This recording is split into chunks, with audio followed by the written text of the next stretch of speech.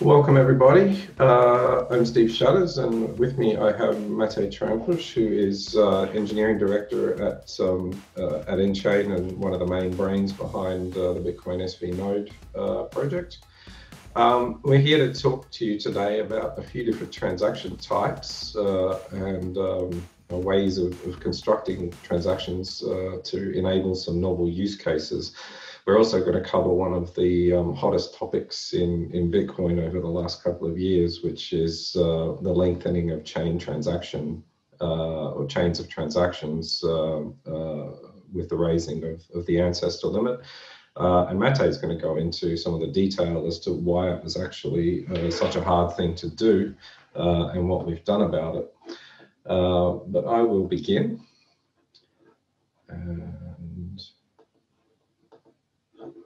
Here.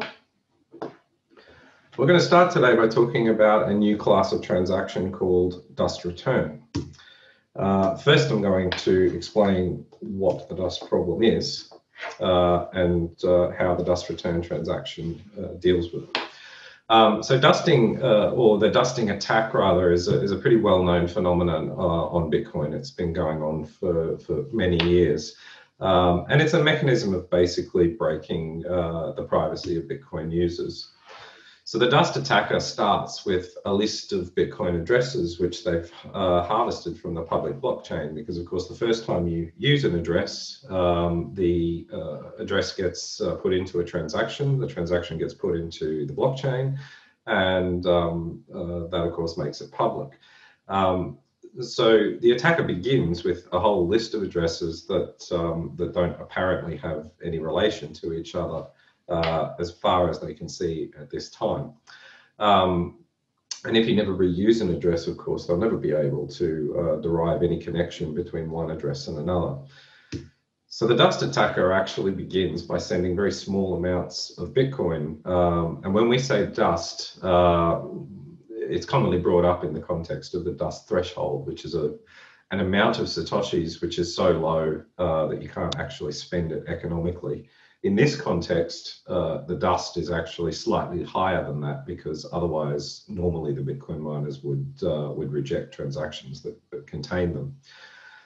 So by reusing existing addresses and sending these small amounts of dust, uh, it's it's a fairly inconsequential cost to the to the dust attacker um, they can send them and they basically arrive in the wallet of the person that had used that, um, uh, that address previously.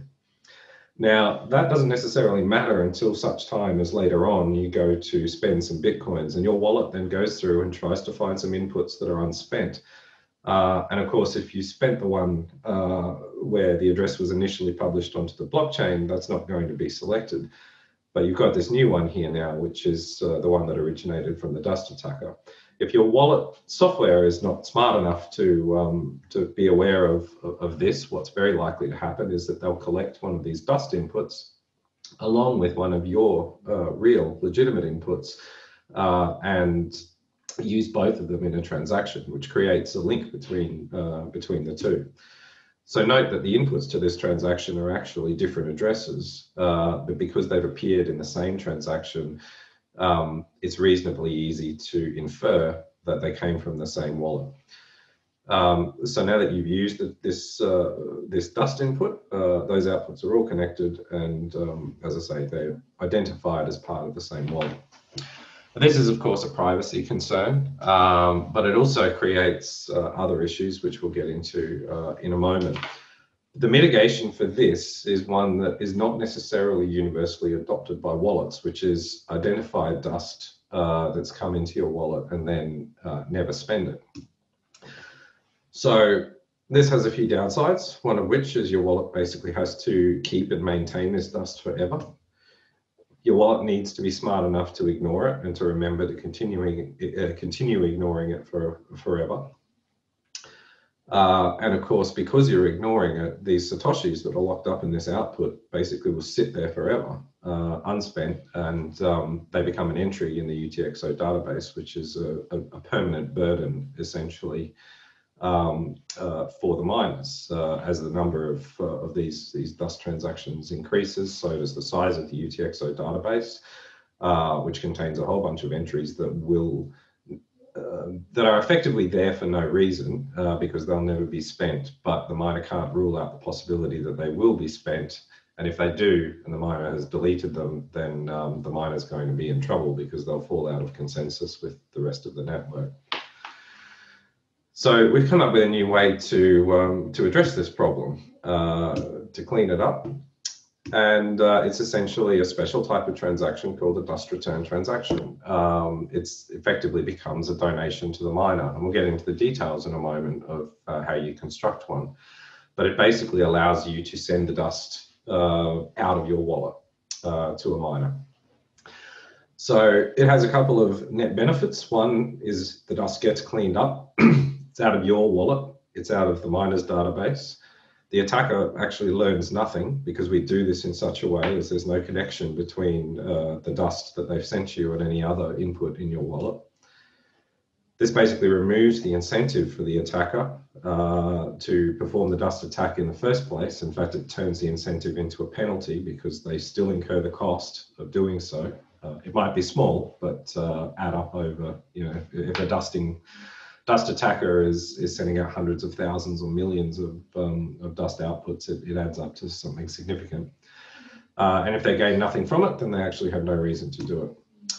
Uh, and the final and probably most important uh, one of the benefits is that the Satoshis that get locked up in this dust uh, are actually uh, allowed to return uh, to circulation. So what does a dust return transaction look like? Um, it's got a few rules around what defines a dust return transaction. Firstly, it has one input, uh, and in fact, it doesn't have any uh, limit on the number of satoshis that uh, are in the input. You could actually spend uh, 10 BSV in a, in a, dust return transaction if you wanted to, but um, you probably wouldn't because you'd be giving it away uh, essentially. The dust return transaction has one single op return output uh, that has the protocol identifier uh, dust, uh, or actually it's four bytes, which is the ASCII bytes for for the um, for the string dust. Um, and this um, uh, requirement is there for a specific reason because if you allowed additional data or any other sort of data uh, in the transaction, um, it would effectively become a free mechanism for data carrier. The other important requirement is that the value of the output is set to zero. This means that the entire input value essentially becomes a donation to the miner via the transaction fee. If it doesn't fit this pattern, it doesn't get classified as a dust return transaction and it will be evaluated against normal fee limits, um, uh, you know, according to the regular sort of fee evaluation rules. But if it does, then it becomes an exception, uh, and the miner will accept, uh, by default, will accept these transactions um, regardless. Um, so oh, I probably should have been scrolling through these as I as I explained. Um, so that's it. It's it's really simple to construct these, uh, and the end game would be, I suppose, that wallets would actually uh, be aware of this dust return transaction type when they detect a dust transaction coming into the wallet they would then prepare the dust return transaction and the next time the user interacts, uh, usually wallets require some authorization from users to sign transactions. They prompt the user and say, would you like to clean up dust? Uh, if the user clicks yes, then uh, the wallet would sign those transactions and send them out.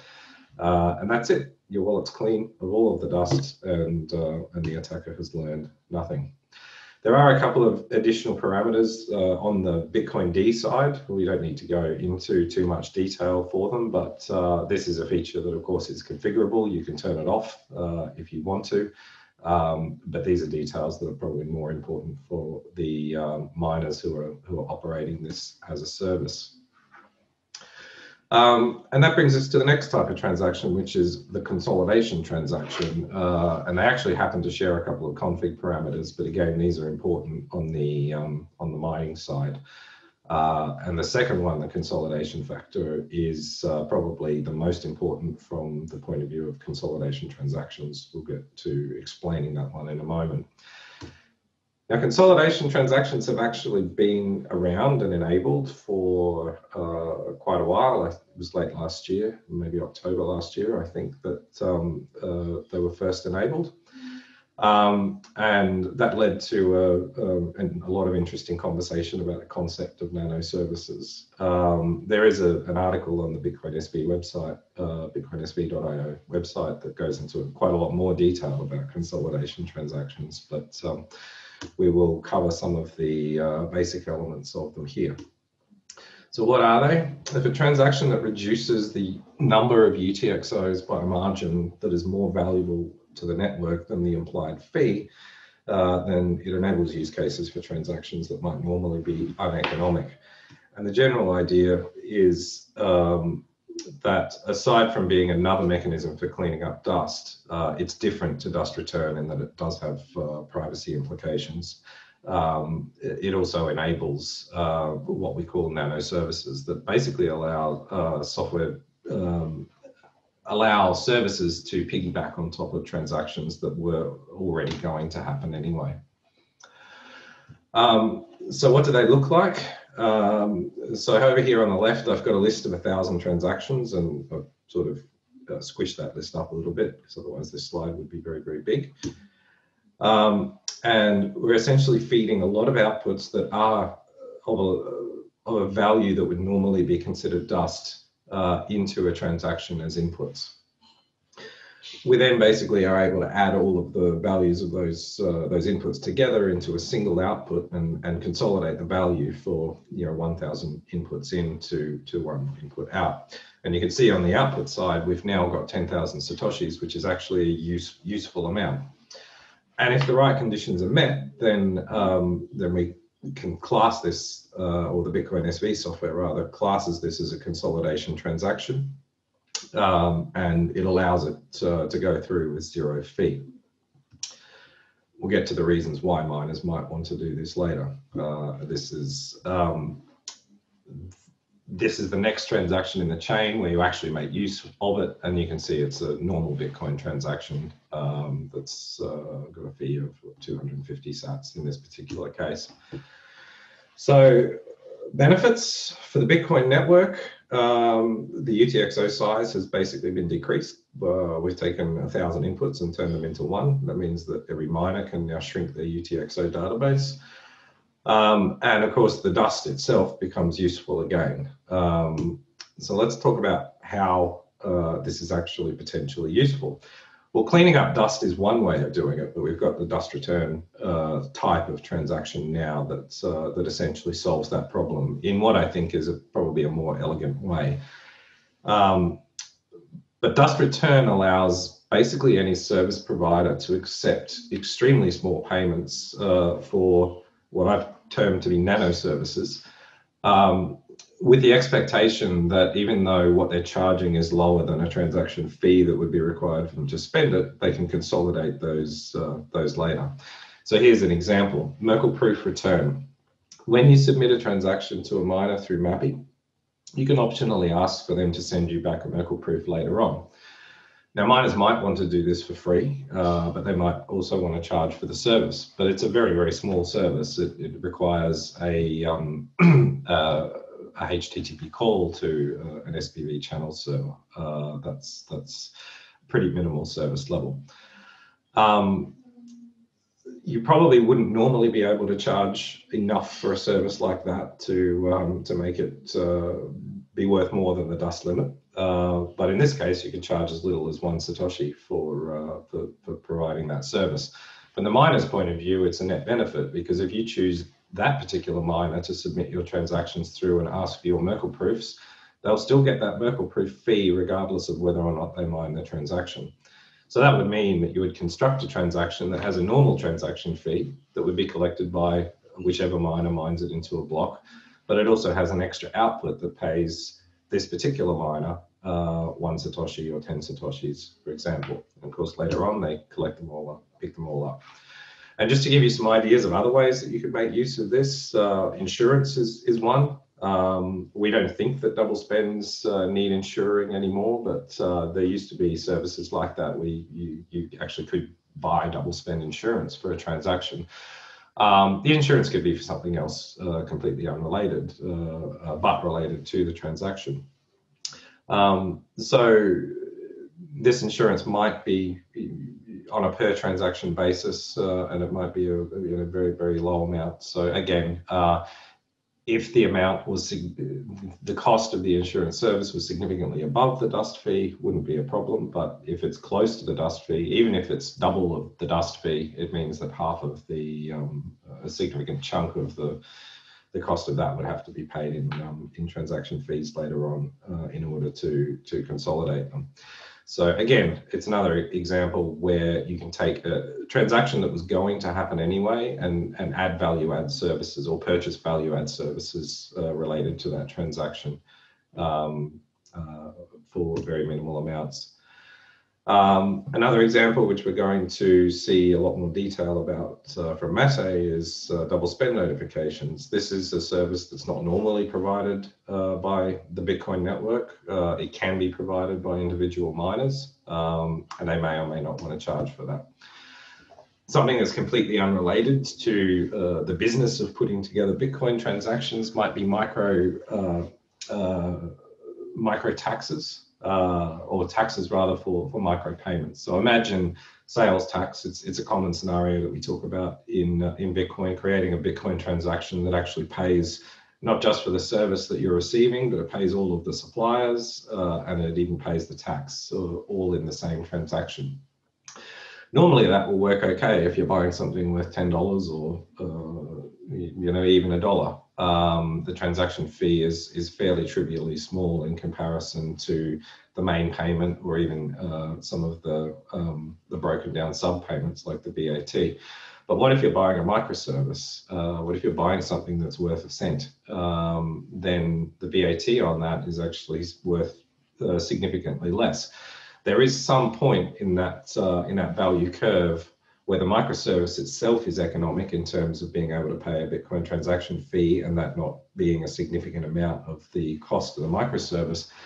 But the sales tax, which is a small percentage of that, actually does fall below that threshold. Um, so this is another classic example where uh, you can pay that directly to whichever tax department happens to live in your country, uh, and they can collect them all, consolidate them later, and um, uh, incur no fee losses uh, in doing so. So that brings me to building of a consolidation transaction.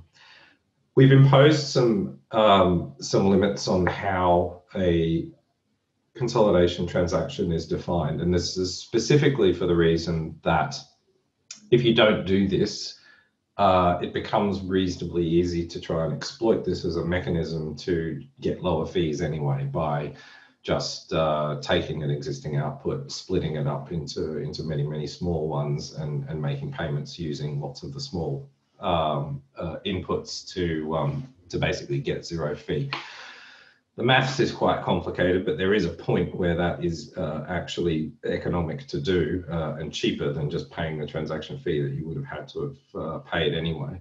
So there are a bunch of limits in terms of how many inputs are required uh, versus how many outputs uh, for a consolidation transaction to be considered a consolidation transaction. And if it doesn't meet those limits, then it's just treated as a normal transaction and will more than likely be rejected because of the fact that it doesn't have a fee. So because those rules are actually quite complicated, um, and I'll show them to you in a moment, um, we've come up with some rules of thumb uh, that are that basically uh, give you a very wide margin for error. Um, so here we've said we suggest that you consolidate at least 100 inputs to uh, to one output. Uh, in reality, you can probably get away with as low as 20, but uh, there are other conditions that will then come into play. But if you're using regular, uh, um, you know, pay to public key hash inputs, then, um, uh, then, then it becomes simpler. Only use inputs that have been confirmed for at least six blocks. Um, there's a particular reason why this, this, limitation is imposed, which I won't get into now, um, but it's relatively easy to um, to meet this condition because even if you don't check that uh, that all of your inputs uh, actually pass this test, you can still construct the transaction and then just wait for an hour for six blocks to get mined and then submit it to the network.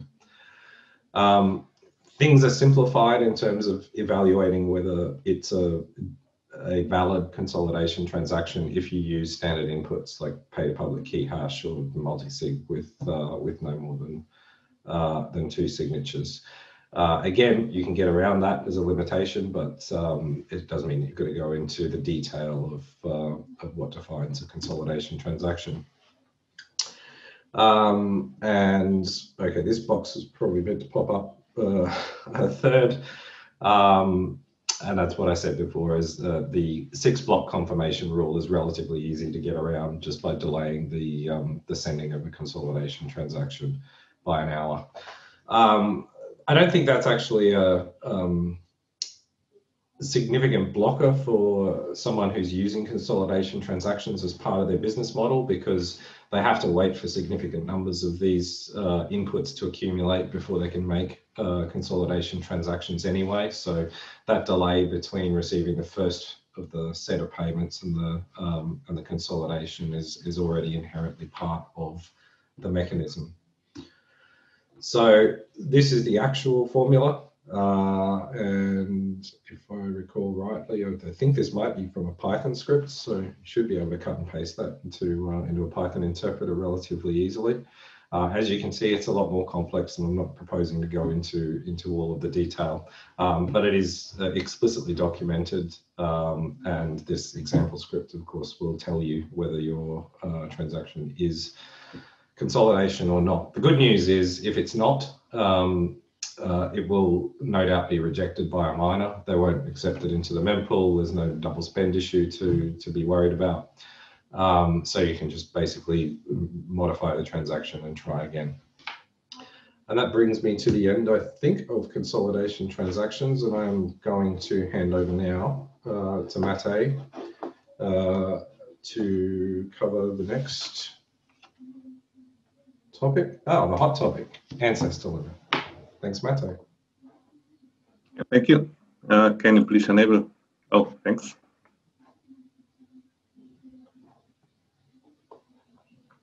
Okay.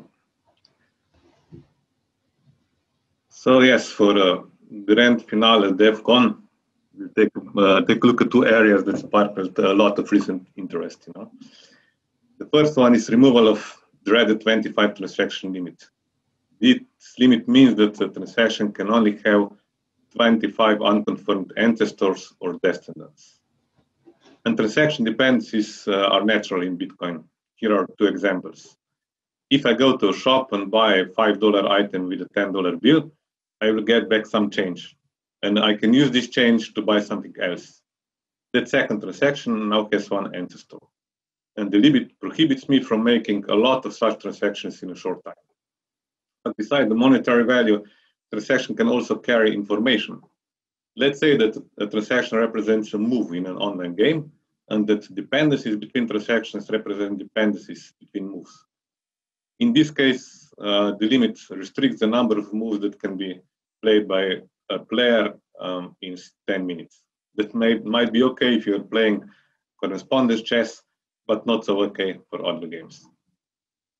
So the limit has been put in for wrong reasons, and we'll take a quick, uh, quick look at how it was removed. Uh, the second topic that we'll touch is uh, double spend attempt notification. If you're a merchant that you have just received a payment from your customer, you want to be notified if customer is trying to spend coins for something else. And double spend notification will deliver you a warning when something fishy is going on. Some deep architectural changes were required uh, for removing 25 transaction limit, and we'll just take a look at two of them.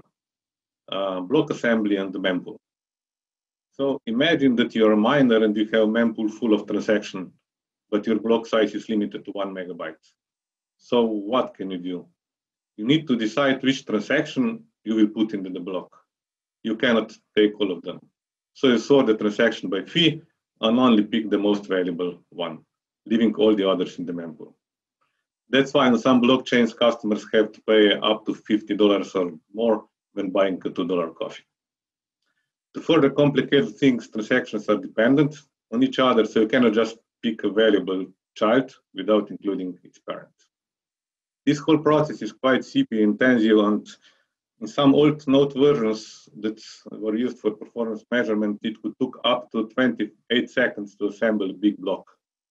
And this process of block assembly is repeated every time a mining uh, software requests a new block candidate, which is every 30 seconds, leaving only four seconds per minute to do some other processing like transaction validation.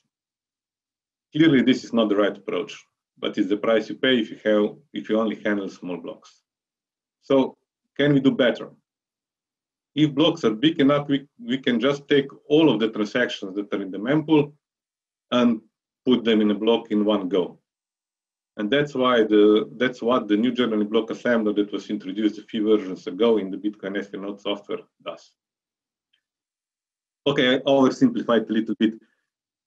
In order for transaction to get included in a block, it needs to pay a minimum mining fee. So what we did in the BSV node software is that we split mempool into logical segments. The primary mempool contains transactions that pay enough fee. This part, this is the part that will get included in the block. And the secondary mempool contains transactions that do not pay enough. We still want to validate and process those transactions because somebody else might mine them. If this happens, this speeds up the block validation because we already validated the transactions. And keeping those transactions around also helps with double spend protection. So when a transaction comes in, we put it in a primary mempool if it pays enough fee. If it does not pay enough fee, we put it in a secondary mempool. If new transaction depends on another unconfirmed transaction, we just link it and attach it to its parent. It can also happen that one part of the chain is in the primary mempool, but the rest of the chain is not paying enough, uh, so it ends up in the secondary mempool. But what happens if, if a high fee transaction extends the chain that is already in the, already in the secondary mempool? Well, if it does not cover uh, the debt that was accumulated by its ancestors, the whole chain remains in the secondary mempool and maybe somebody else will mine. But if it does pay enough fee to cover the debt, the whole chain will be moved to primary mempool. This feature is called child, child pays, pays for parent. And some other Bitcoin, Bitcoin forks remove this feature because it's hard to design efficient implementation for it, but not in Bitcoin SV. So there, those are two optimizations that were recently implemented in the BSV node software there were a bunch of others. For example, uh, there was a descendant count, count metric that was used to remove the transaction from mempool when mempool was getting full. The algorithm was slow and did not work well, so we re completely removed the down count limit, limit and implemented a faster algorithm that removes just what is needed and also removes the transactions from the end of the uh, chain tips. So the results of all these optimizations can be seen on those three charts that show time that is required to submit 2 million transactions to the node. Left one is 2 million independent transactions. The middle one is uh, 2 million transactions which are organized in chains of uh, length 50. And the last one is for chain length of 1000. The blue line uh, represents the software before the optimization and the yellow line represent the 107 version that was uh, released recently. So we can see that uh, when we do not have dependent transactions, they both versions perform almost the same. But with chain length of 1000, the difference is striking. The new version is as fast as for independent transaction. It's actually a little faster because it does not have a, to do a UTXO lookup. Uh, coins are already in the mempool. But the old version, blue line, can take several uh, hours to process 2, millions, uh, 2 million transactions organized in chain length of uh, 1000. So to sum up, if your transaction is paying enough, it will go enough, uh, it, it, will go directly into the primary mempool, which currently supports uh, chain length, uh, chains that are 1,000, 10,000 transactions deep. Okay. If the transaction is not paying enough, it will end up in the secondary mempool, which is smaller uh, 10 times smaller by default, this means that your transaction get, can get evicted, but it's still useful for double spend protection uh, and for speeding up block validation. It also does not support uh, long chains.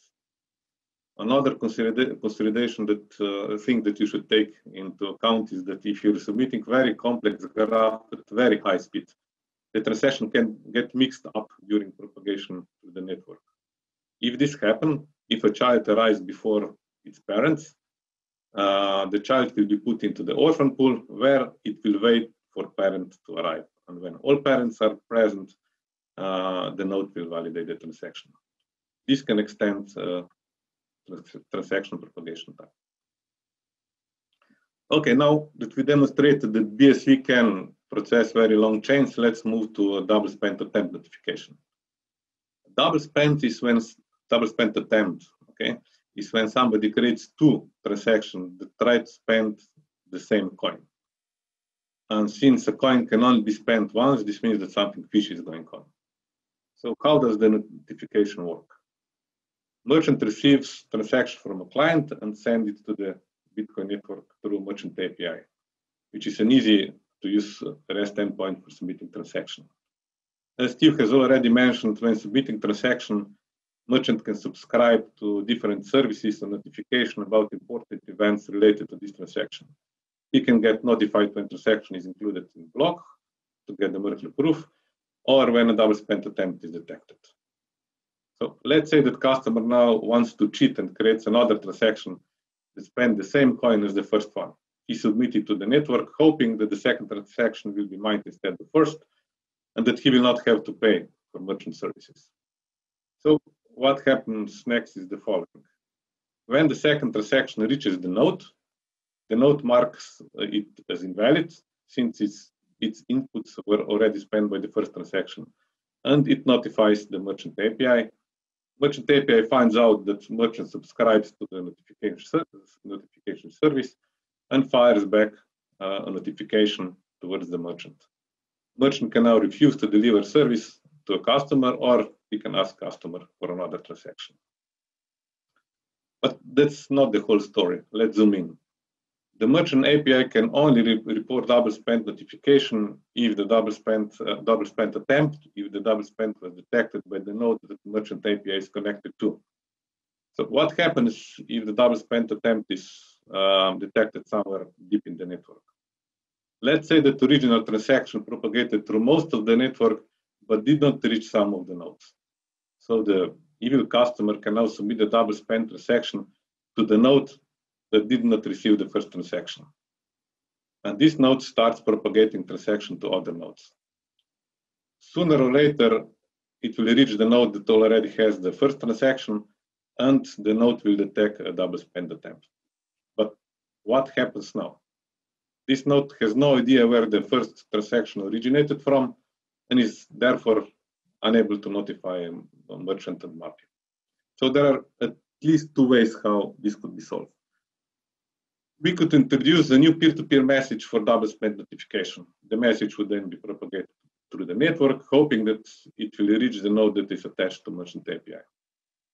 Each node in the network would need to validate this transaction, and this, this is quite expensive, especially if the whole network is doing it.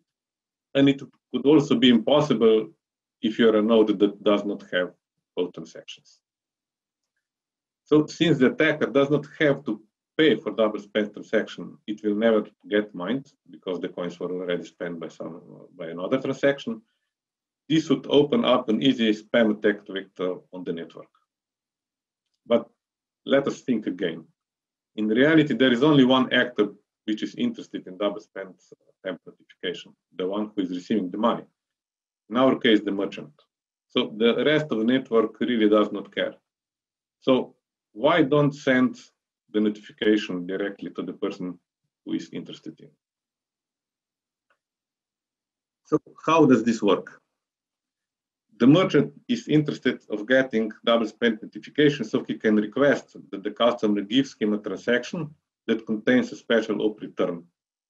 This output instructs the node to trigger a callback if it detects a double spend attempt. The special output uh, contains different pieces of information. It starts op false, op return, and then the protocol identifier.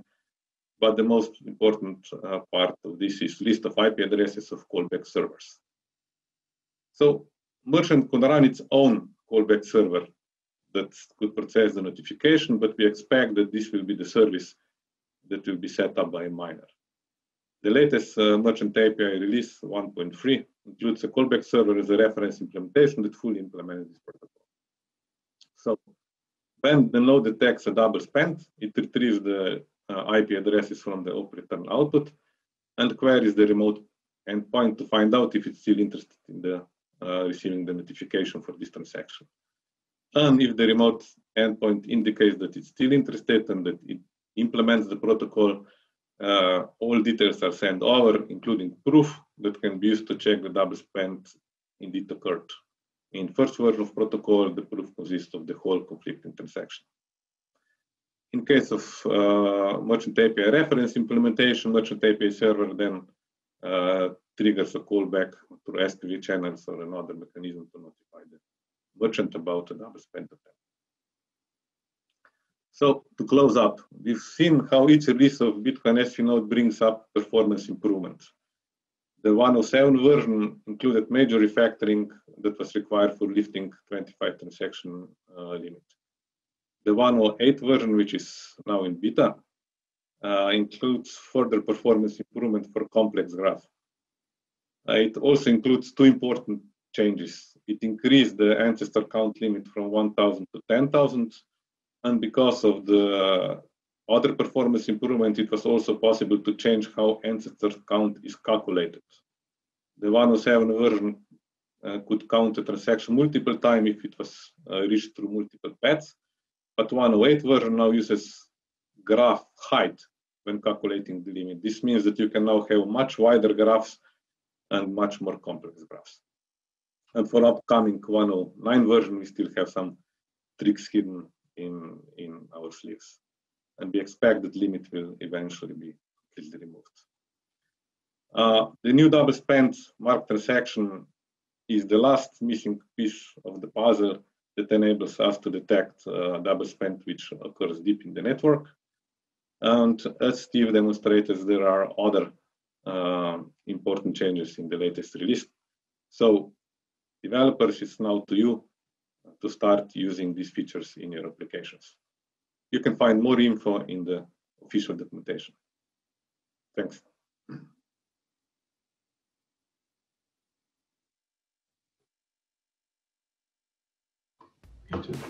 Thanks, Matej. Uh, and out of all of those features, I know the one that has probably had the most attention in the last uh, couple of years is the ancestor limit.